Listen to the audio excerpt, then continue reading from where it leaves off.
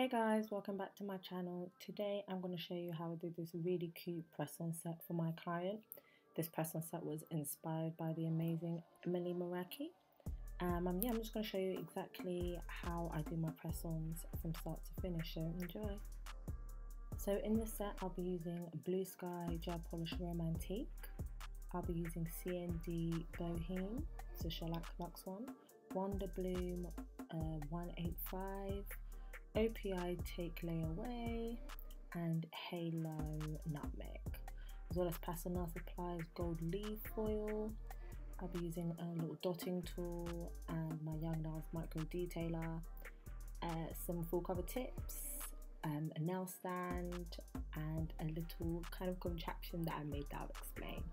So I made this contraption literally just out of um, some bed slats and I put little balls on it and what I've done is I literally just have written down like right pinky, right ring, right middle, right index, right thumb, um, and I do that on the same, obviously for the left hand side. And this is literally basically where I just place all of the nails in between the little slots, um, just so I know the right hand is this size, um, the left hand is this size. And I normally use that if I don't want to use that um, nail stand. So sometimes I do stick the press-ons on top of it. That's why you see the Blu Tack on it. But most of the time I just use it to just position out where I want the um, nails to go. So yeah this is so quick and easy. I literally made out some bedroom slats. I just cut in half. Got some little kind of bead balls of eBay and then just glued them onto it so what I do is I just place out the press-ons um, all in their specific sections, so right pinky, left index, left middle, and it's really important that I do this because all of the finger sizes, one are different, but also on the same, on different hands, so right index isn't going to be the same as right pinky. Um, so then yeah, I'm just going to cut my press-ons. Um, so my client, I'm not gonna lie, I of do this by eye, um, and my client wanted um, medium, so I kind of just I don't know, kind of go by on what I think is medium and kind of what she's had before and she's been happy with. So yeah, I literally just cut that with some tip cutters. Um, and then what I'll do is for the other one is you'll see that it is um, if it's this, if their fingers are the same size on both hands, so if both their thumbs are like a three, then I will do this where I put them on top of um, I put one that I've cut on top of one that I haven't cut so I can just easily just cut that again. However this only works really easily if both those fingers are the same size. So obviously if like one thumb is a two one thumb is a three I try not to do it because I'll literally just get it confused. Obviously there'll be a little piece um still left on but I just continue to then cut that off um, and then yeah what I'll do is I'll just literally line them both up on my hand just to make sure that they're the same size if not cut a bit more or just file them. So this next step is one of the most important steps especially if you're using gel polish. I personally like to do all my press-ons in gel polish because I find that acrylic can make them a bit too stiff and it loses its flexibility. So if you're doing this you want to make sure that you properly buff the nail otherwise that gel polish is going to peel straight off so I make sure I buff all the nails and then I'll file them the edges straight just in case I didn't cut them properly.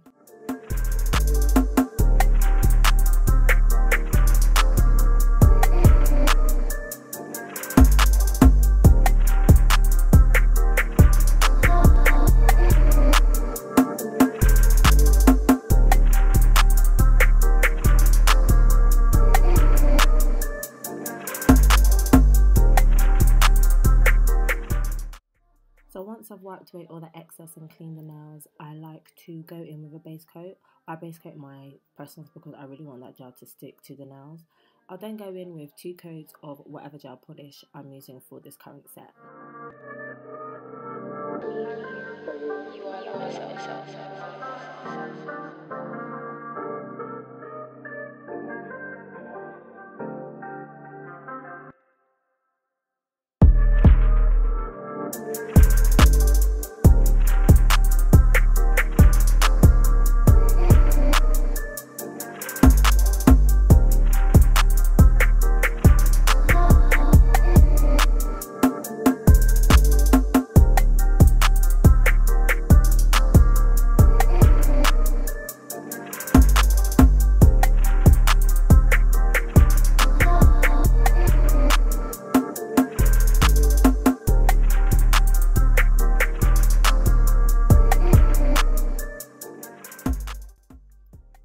Separated and laid out all my colours, I then go in with my Young Nails Micro Detailer brush and just do this kind of like swirly kind of line to kind of do that kind of um, melting kind of animal print.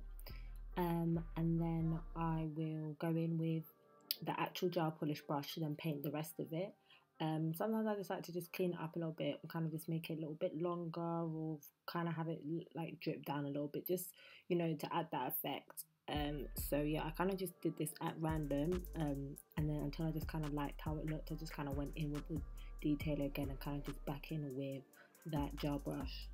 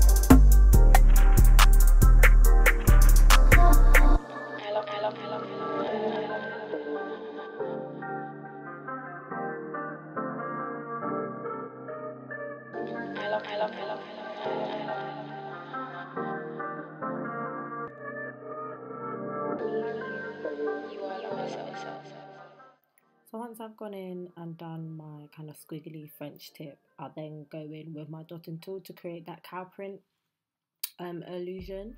So I'll literally just do random blobs and dots kind of anywhere all around um, the French tip part.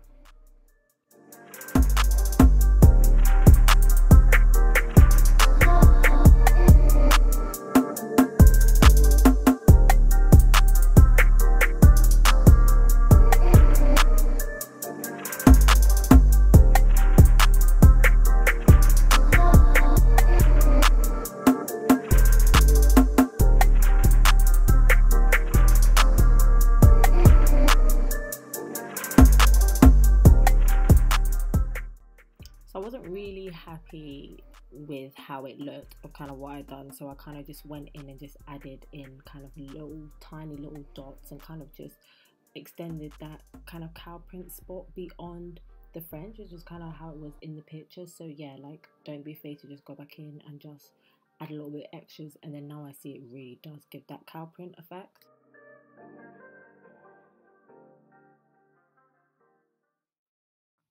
So once I've done all that, and then I'm gonna just break up my gold foil into really tiny pieces. Obviously, it comes in this kind of one long kind of thing, so you want to break it up.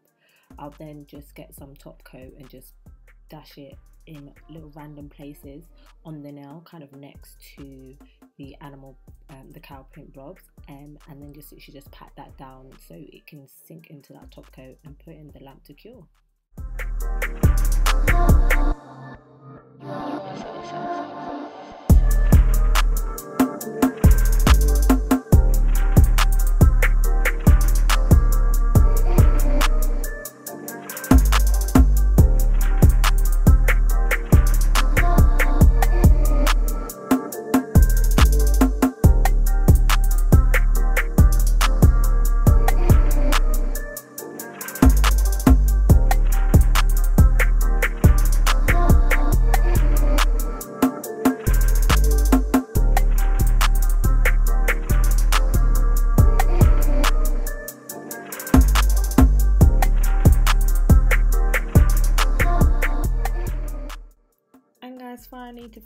you just want to add some top coat, double top coat if necessary, if that gold ball is seeming a bit rough.